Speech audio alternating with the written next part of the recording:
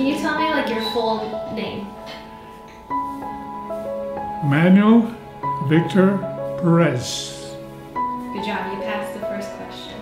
Uh, That's it. That's it. We're done. I'm just kidding. That's it. Uh, I I was born May 9, 1927, and I came to the United States uh, about April 29,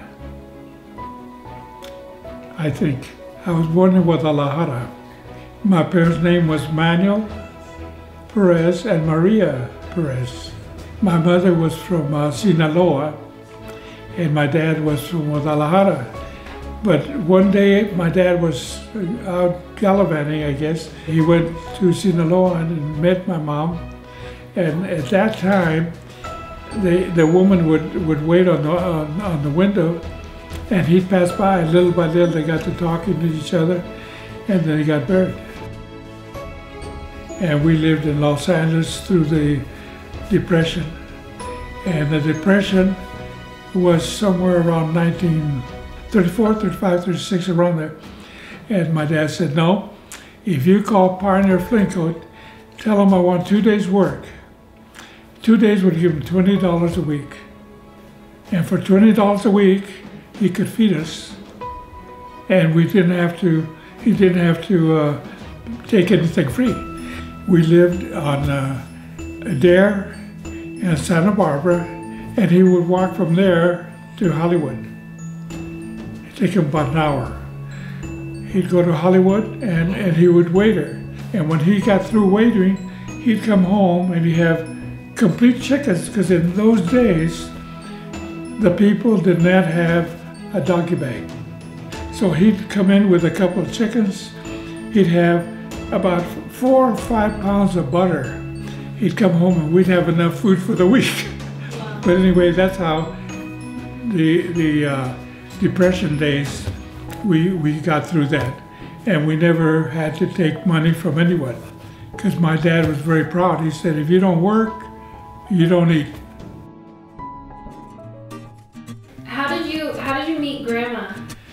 And grandma, well, what happened is we we we used to have. Uh, uh, I used to get together with all my friends. Oh, that's my wife right there. Oh, that's our our 50th anniversary. See that? Yeah. This is Celia when uh, eh, on our 50th anniversary at uh, Sue's house. She- Celia used to belong to uh, uh, ladies, Las, Las Damas.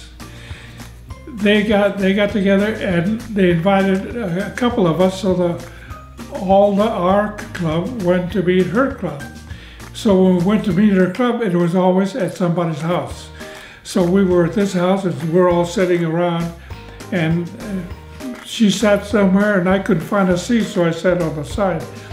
So little by little, I kind of got to like her, so I asked her to go out, and she went out, but I couldn't take her out unless I took her sister.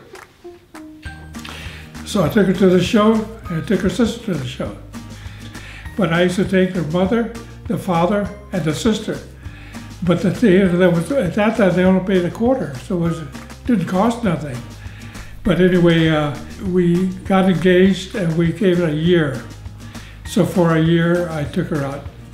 How did How did you ask her to marry you? Well, I just asked her if she wanted to get married. She said yes. But first, I asked her father. So I couldn't ask her first. I had to ask her father. And her father said, yeah, it's all right with me. Uh, well, we got married and we started going to the show. We started going to dances. We went out a lot.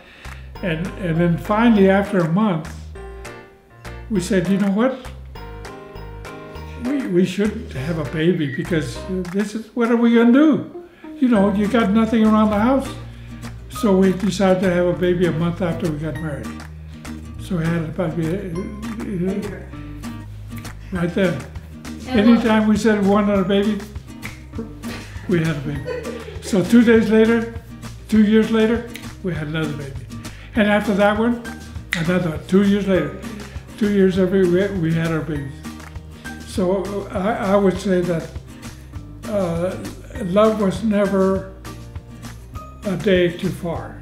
Never. Because that's the only thing I, I that's the only thing I worked for all my life. And and that was it. So we we had uh, we had a good rapport. And we didn't have enough time to get in fights because I was never home. So it was pretty good. So then little by little my family started going and every time I walked down the aisle, I had the biggest smile. I mean, my smile was from ear to ear. So they, my kids all got, they got married and I was so happy they got married. And uh, everybody, they all got married and I was all happy. We had good parties. We had a lot of, lot of real good parties. And then one day in nine, 2000, no, in 2003, my wife had a cold. We were sitting in the bedroom, and she and I said, "Why don't we go to the doctor? I don't want you to get pneumonia." So she went upstairs, and all of a sudden I heard a thud, and she died. So she died of a heart attack. And then I, I found out that she was taking a heart pill about three or four times a day, and she wouldn't tell anybody.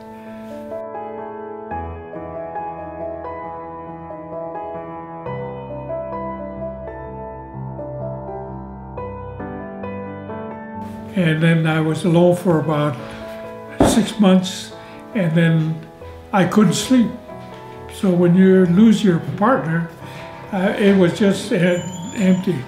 What happened is Josie used to be worked with us about five years before that. She worked at at help at one place. Her and her husband, her husband.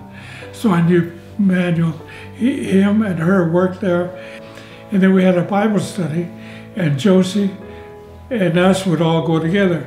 Well, when, when her husband died, she would go to church and we'd all go to the same Mass, about 10 o'clock Mass.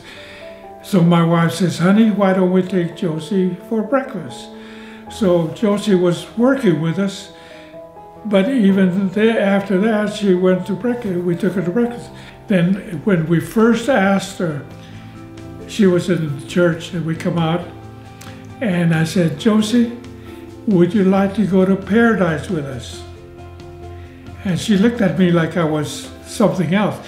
And I said, no, the restaurant, because it wasn't really paradise. It was a restaurant. And we started going to the restaurant every Sunday until my wife died. You're lonely? She said, I'm, I'm, I stay up every night. And I said, you know, I stay up every night. So I would call her at night, and we talked for two hours at night. And after 12, we we're on the phone. So I decided, you know, maybe we should get together. So we went out and decided, well, you know, we might as well get together instead of being separate. So we got together and we got married. So now we're going on our 14th year. But, I'll tell you one thing there isn't a day that went by that we didn't have either something going on, the family going on, a trip going on. There was something going on all the time. And uh, you can ask the rest of the family. So we were doing something all the time. So we were never at home just sitting around. If we're sitting around, we're going to have barbecue or something and have somebody over. But we always had either had company or were going someplace or something was going on. But there was something going on every day of my life.